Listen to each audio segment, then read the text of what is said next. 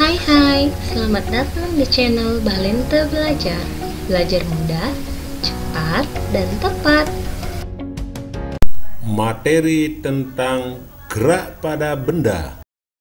Sebuah benda dikatakan bergerak apabila benda tersebut kedudukannya berubah terhadap titik acuan. Titik acuan merupakan titik dilakukannya pengamatan terhadap gerak.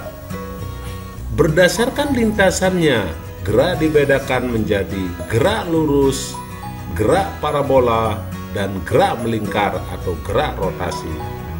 Sedangkan berdasarkan titik acuan pengamat, gerak dikelompokkan menjadi gerak semu dan gerak sejati. Beberapa contoh masing-masing gerak sebagai berikut.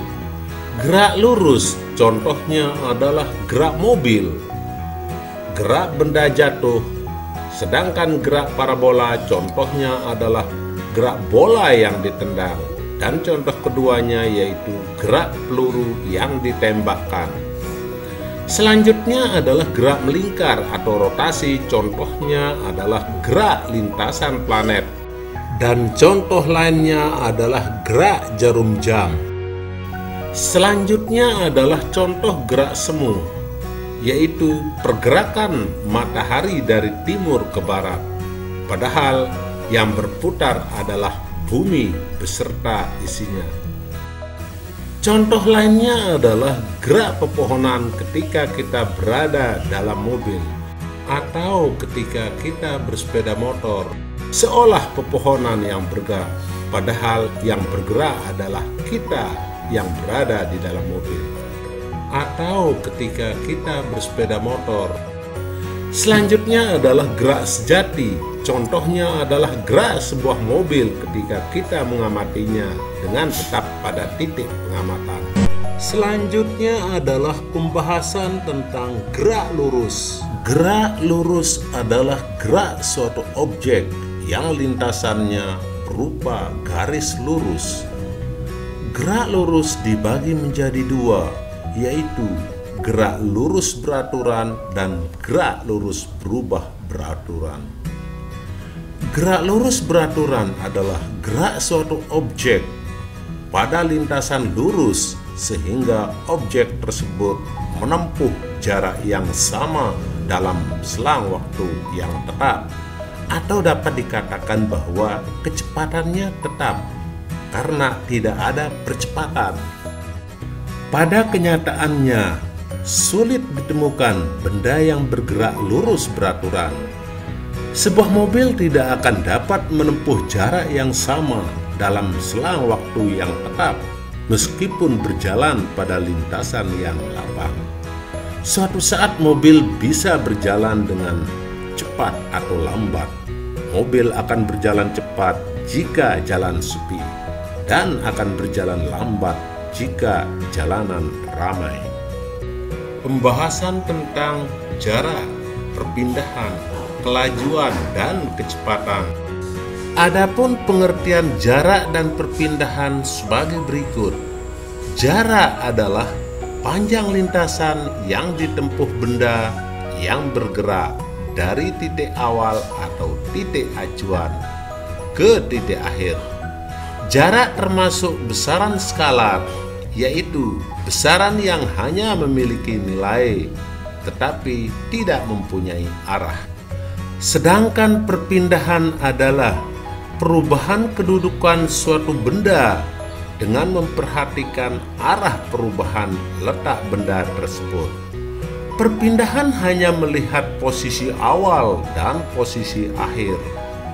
Perpindahan termasuk besaran vektor, yaitu besaran yang memiliki nilai dan arah. Perhatikan ilustrasi tentang jarak dan perpindahan berikut ini. Seekor hewan bergerak naik dari titik A menuju ke titik B sejauh 4 meter dan kemudian turun menuju titik C sejauh 3 meter. Dari ilustrasi tersebut, maka dapat dikatakan bahwa jarak tempuh hewan tersebut adalah 7 meter diperoleh dari jarak AB 4 meter ditambah dengan jarak AC 3 meter.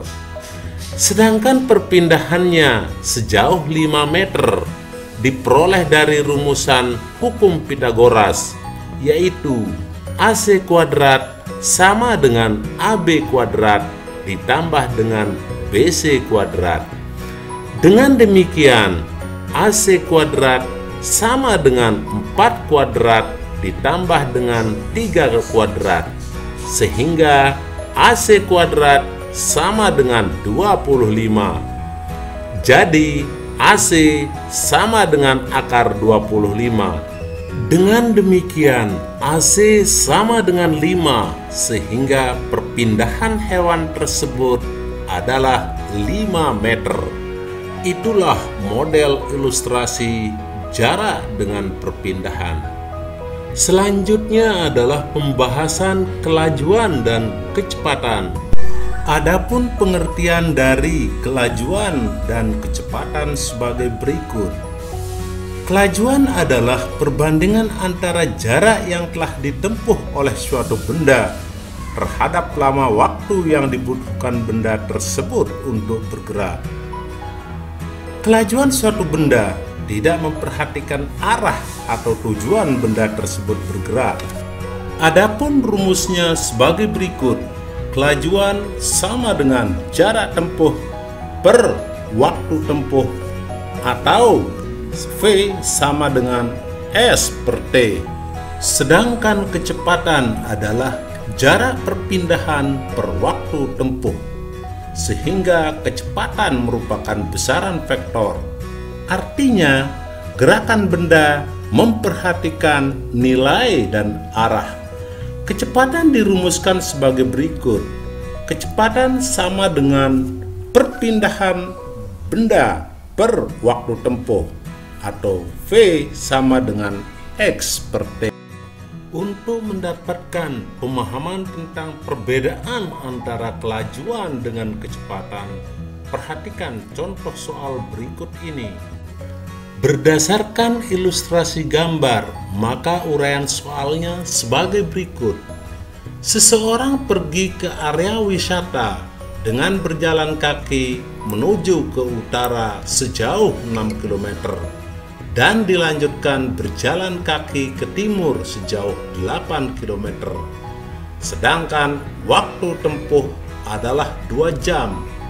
Tentukanlah kelajuan orang tersebut Kelajuan orang tersebut sama dengan jarak tempuh per waktu tempuh atau V sama dengan S per T sehingga kelajuannya sama dengan 6 km ditambah 8 km dibagi dengan 2 jam hasilnya adalah 14 km dibagi dengan 2 jam dengan demikian, maka kelajuan orang tersebut adalah 7 km per jam. Berikutnya uraian soal tentang kecepatan dengan soal yang sama, tetapi pertanyaannya berbeda. Soalnya sebagai berikut. Seseorang pergi ke area wisata dengan berjalan kaki menuju ke utara sejauh 6 km dan dilanjutkan berjalan kaki ke timur sejauh 8 km. Sedangkan waktu tempuh 2 jam. Tentukan kecepatan orang tersebut. Kecepatan orang tersebut dapat ditentukan dengan rumus kecepatan sama dengan jarak perpindahan per waktu tempuh atau V sama dengan X per T dengan ketentuan bahwa X sama dengan jarak perpindahan yaitu jarak AC pada data gambar. Jadi jarak AC dapat dicari melalui rumus Pitagoras yaitu AC kuadrat sama dengan AB kuadrat ditambah dengan BC kuadrat. Jadi 6 kuadrat ditambah dengan 8 kuadrat hasilnya adalah 36 ditambah dengan 64 menjadi 100. Dengan demikian, maka AC sama dengan akar 100, akar 100 sama dengan 10. Perpindahannya menjadi 10 km. Dengan demikian, kecepatan orang tersebut dapat dicari dengan rumus sebelumnya, yaitu V sama dengan X per T. Maka kecepatannya adalah 10 km per 2 jam, menjadi 5 km per jam.